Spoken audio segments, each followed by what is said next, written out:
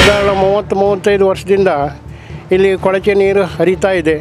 ಪಾರಿನ ನೀರು ಸಹ ಅದಕ್ಕೆ ಅಟ್ಯಾಚ್ ಮಾಡಿ ಕೊಟ್ಟಿದ್ದರು ಈ ಇದು- ಈ ಕಸದ ಇದ್ರ ಬಗ್ಗೆ ಡಿ ಸಿ ಮತ್ತು ತಾಲೂಕು ಪಂಚಾಯತ್ ಎಲ್ಲ ಕಡೆ ಮನವಿ ಕೊಟ್ಟಾಯಿತು.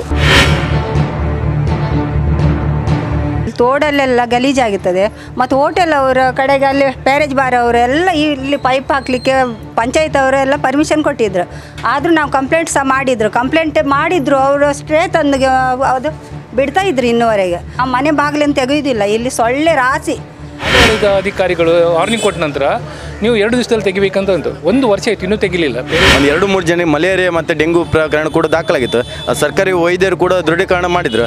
ಗ್ರಾಮ ಸಭೆಯಲ್ಲಿ ಅದನ್ನೇ ಇಟ್ಕೊಂಡು ನಾವು ಅದನ್ನು ಪ್ರಶ್ನೆ ಮಾಡಿದಾಗ ಕೂಡ ಯಾರೇ ಒಂದು ಅಧಿಕಾರಿಗಳು ಅಧಿಕಾರಿಗಳಿಗೆ ಇದು ಸಮಸ್ಯೆ ಬಗ್ಗೆ ಪರಿಹಾರಕ್ಕೆ ಒಂದು ದಾರಿ ಇದುವರೆಗೆ ಕಲ್ಪಿಸಲಿಲ್ಲ.